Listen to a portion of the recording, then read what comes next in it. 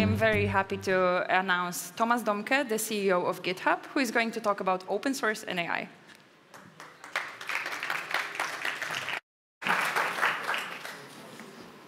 Hello. The speech after lunch break is always the hardest. Everybody has to wake up again and motivate themselves. Thank you so, thank you so much for having me here today, and thank you to those watching online. I'm Thomas, and I'm a developer. And you know, I've been, to, I've been a developer for so long. I normally see a few faces in the audience that I know, but I, and I've been to a lot of developer conferences, but not to discussions about public policy. So I must admit, I probably don't know most of you.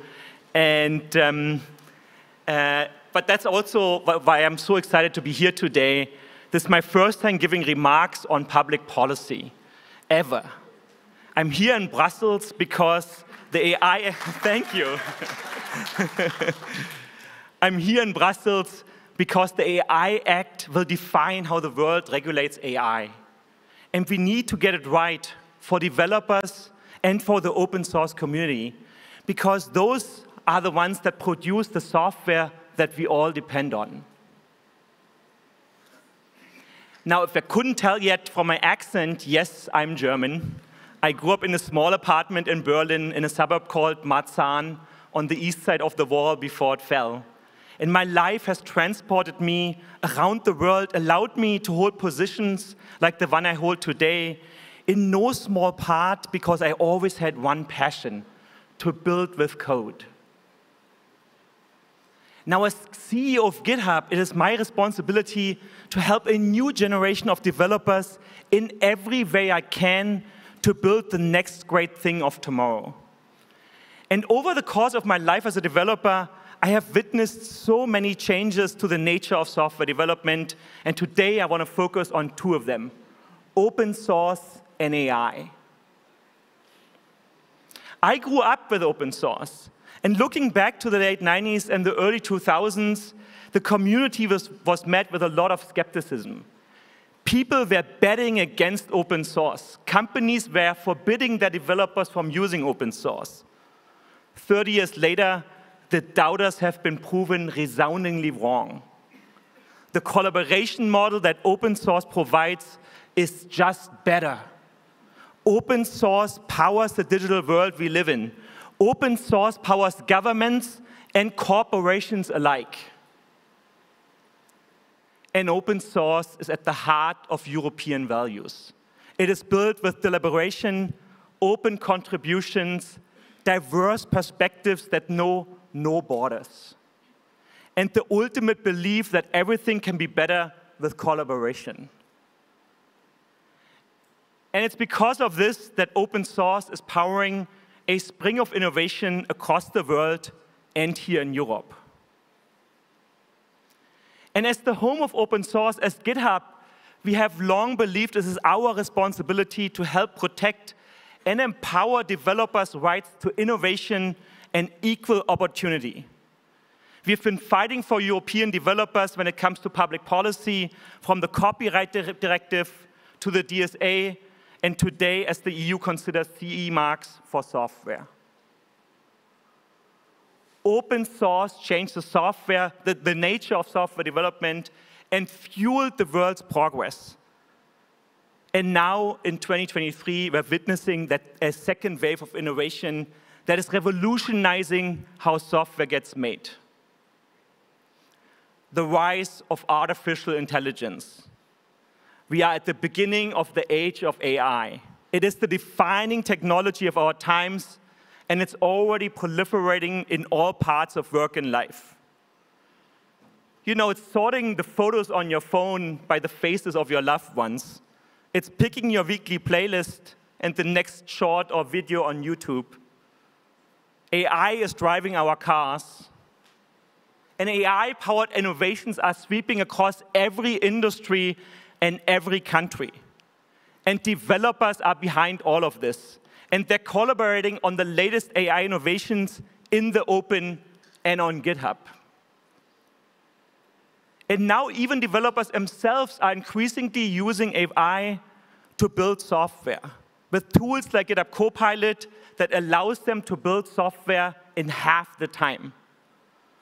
To me, that is a really special moment.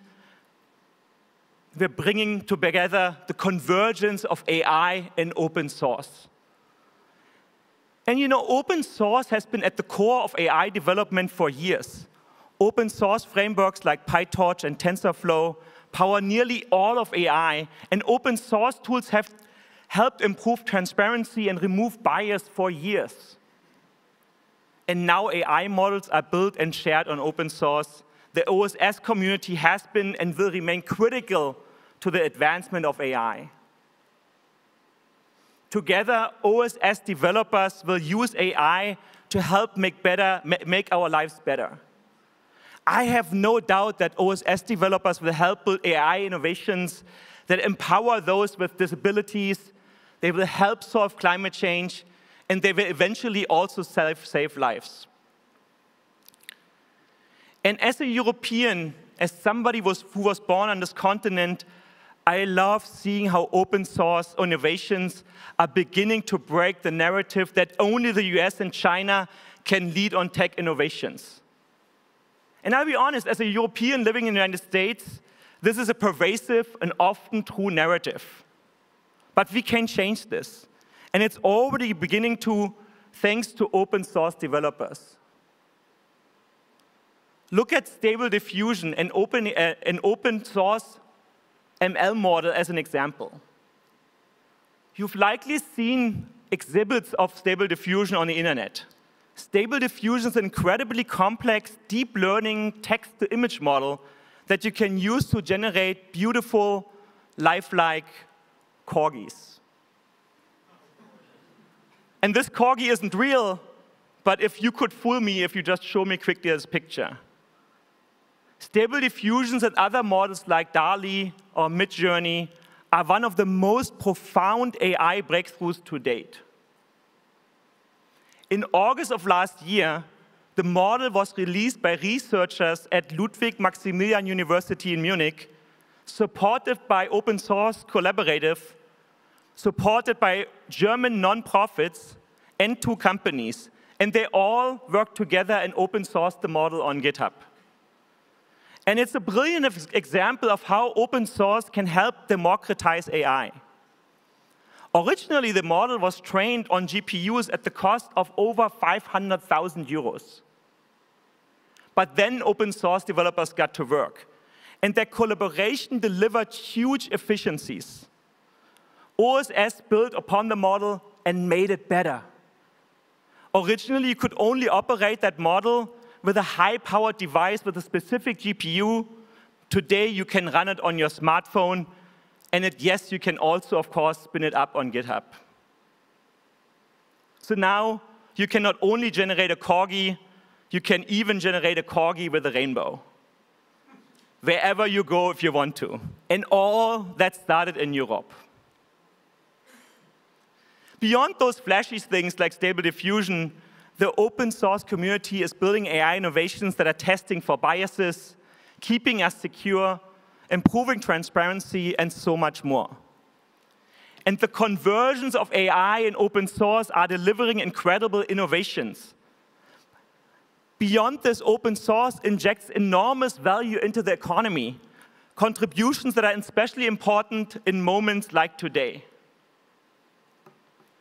According to an open forum study in 2021 delivered by some of you in this room, open source is contributing up to 95 billion euros to the EU's GDP. 95 billion every single year. That is as much value injected into the European economy as both an air and water transport combined. And that was commissioned even before the current wave of AI models started. According to estimates, AI is going to contribute over 15 trillion to the global economy by 2030. So it's almost unimaginable, it's almost unimaginable how much economic value European OSS developers could bring by leading this wave of AI washing over the world. GitHub is the host of much such, much such uh, innovation and we are actually working on our own studies to measure the economic impact of generative AI in the coming year.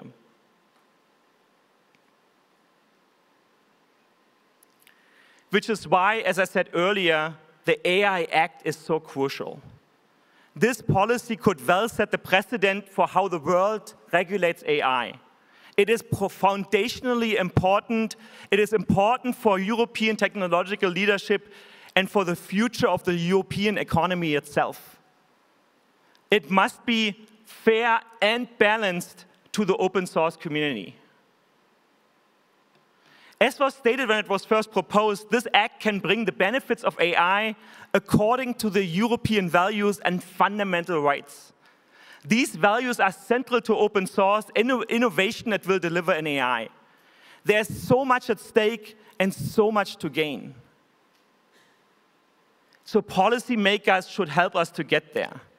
The AI Act can foster democratized innovation and solidify European leadership in open, value-based artificial intelligence. And so this is why I believe that the open source developers should be exempt from the AI Act. Because ultimately, this comes, yes, thank you. because ultimately, you know, this comes down to people. The open source community is not a community of entities. It's a community of people. And the compliance burden should fall on entities, it should fall on companies that are shipping products. OSS developers are often just volunteers. Many of them are working two jobs. They are hobbyists and scientists, academics and doctors, professors and university students all alike, and they don't usually stand to profit from their contributions. They certainly don't have big budgets or their own compliance department. The open source community acts as grassroots of technology, every day translating their ideas into the shared possibility for the rest of this world. And the greatest innovation will always come from the roots, but only if we give them the daylight to grow. Open source is forming the foundation of AI in Europe. The US and China don't have to win it all. Let's break that narrative apart. Let's give the open source community the daylight and the clarity to grow their ideas and build them for the rest of this world. And by doing so, let's give Europe the chance to be a leader in this new age of AI. Thank you so much for having me here today, and thank you to those watching online. And for those here in the audience, I look forward to seeing you all become familiar faces in the years ahead. Thank you.